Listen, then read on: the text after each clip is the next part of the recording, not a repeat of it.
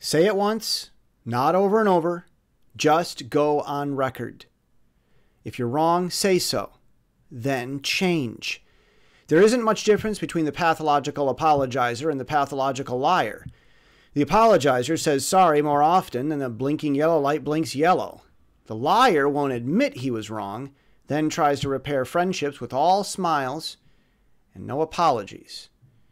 Words and actions must go together. All words and no action doesn't help any more than all action and no words.